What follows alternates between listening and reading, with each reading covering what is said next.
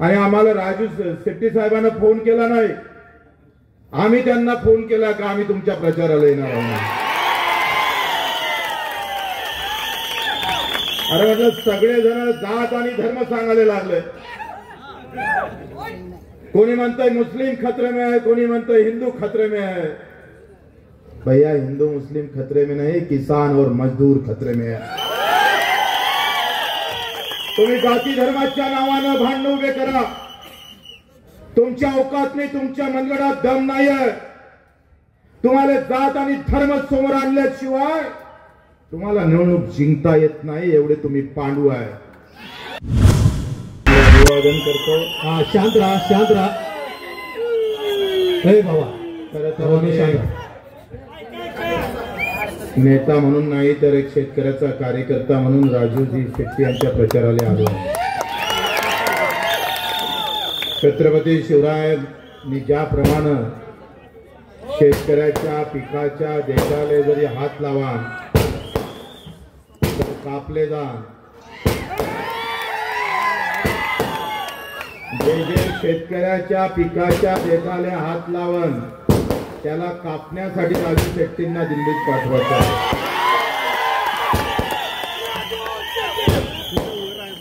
मित्र महात्मा ज्योतिबा फुलेंनी शेतकऱ्याचा आसूड. ज्याप्रमाणे इंग्रज काळामध्ये पुस्तक लिहून तुमच्या आमच्या डोक्यामध्ये शेतकरी घालण्याचा प्रयत्न केला त्या महात्मा ज्योतिबा फुलेचा आसूड सुद्धा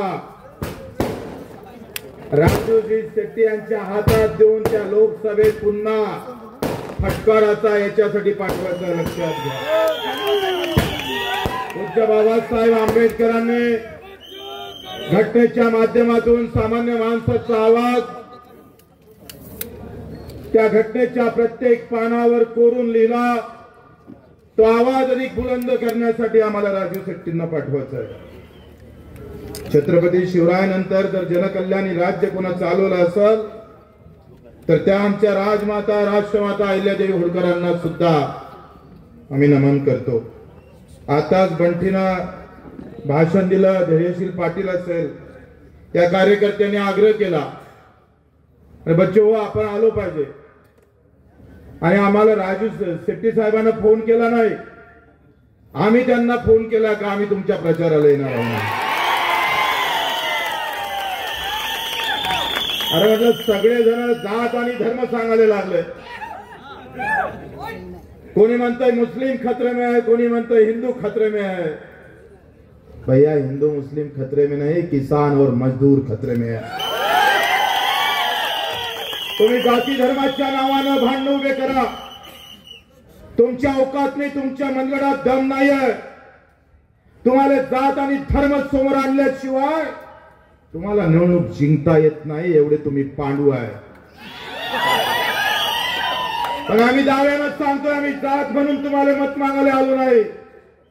एक शेतकरी म्हणून मत मागायला आलोय शेतकऱ्याचा मुलगा म्हणून मत मागायला आलो आहे आम्ही गावागावातून आवाज उभा केला पाहिजे होय! मी शेतकरी आहे.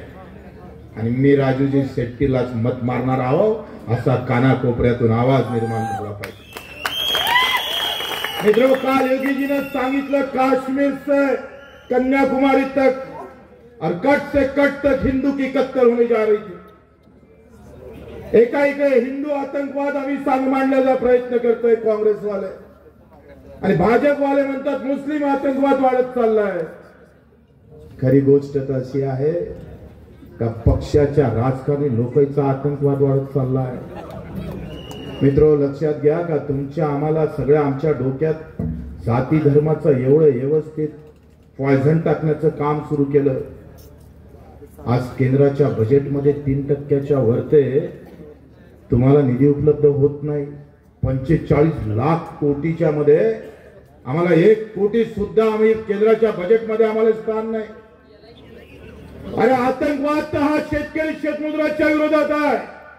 काश्मीर और कन्या कन्यावर तक अगर कोई मर गया होगा अगर किसी का खून हुआ होगा तो मेरे किसान और मजदूर भाई का हुआ है। उसका बदला लेना है हमको। उसके लिए खड़ा होना है।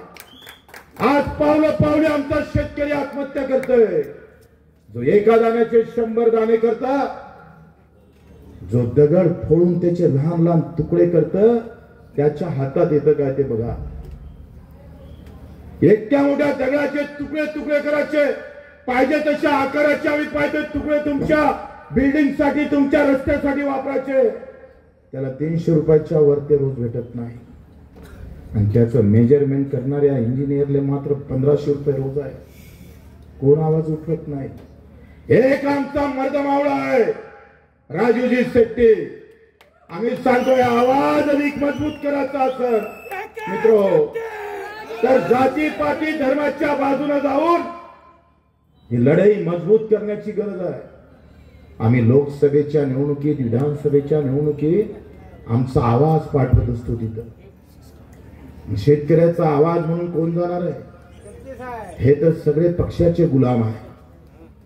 कारण यांची तिकीट दिल्लीहून पक्की होते. हमारी तिकीट गाव से पक्की होती. है आम्हाला दिल्लीला आणि मुंबईला मुद्रा मारायला जायची गरज नाही आहे. आणि मग त्यासाठी आम्ही पाहतो हे सगळे आम्ही अळटट्टू पट्टू असल. हे सगळे पक्षाचे गुलाम आहे ऐंशी कोटी लोकांना मोदीजी म्हणते आम्ही धान्य देतोय फुकट. दोन रुपये काय म्हणते दोन किलो गहू चार किलो तांदूळ. करप्शन किती आहे माहीत आहे? अरे एका किलो माग सत्तर रुपयाचा खर्च आहे. आणि तिथल्या मंत्री आणि का आमच्या अधिकाऱ्याला पैसे जातात दीडशे कोटी रुपये महिना. योजना गरीबाच्या नावानं आहे. आणि मलिदा मात्र दुसराच खात आहे. तुम्हाला आम्हाला या सगळ्या भिकार चोड योजनेमध्ये गुंतून ठेवण्याचा प्रयत्न केला जातोय अरे आम्ही पाहतोय कित्येक वर्षापासून शरद जोशी साहेबांना एक मान लिहिली होती त्या भिंतीवर मला अजूनही आठवतं भीक नको हवे घामाचे दाम पंच्याहत्तर वर्ष उलटून गेलं. या देशात प्रभू रामचंद्राचं राम मंदिर झालं. आनंदाची गोष्ट आहे. पण ज्यानं खांदा खांद्यावर शेतकऱ्याचा हा झेंडा घेतला त्याचा बाप पाय घसरून घसरून आत्महत्याच्या दारावर उभा आहे. हा प्रभू रामचंद्राचा आदर्शवाद नाही आहे मंदिर तो बना दिया मोदी जी लेकिन भक्त मर रहा है आपका। राम भक्त मर रहा है। मित्रो हे व्यवस्थेच्या विरोधात लढणं शिकता आलं पाहिजे. तुम्ही आम्ही लढताना राजू शेट्टीजींना काय तकलीफ होतं काय अडचणी होतं कशा पद्धती देश विदेशातील प्रत्येक घडामोडींचे लाईव्ह अपडेट मिळवण्यासाठी आता साम टीव्हीच्या सर्व सोशल मीडिया प्लॅटफॉर्मला लाईक फॉलो आणि सबस्क्राईब करा. तसंच सर्व नोटिफिकेशनसाठी बेल आयकॉन प्रेस करायला विसरू नका.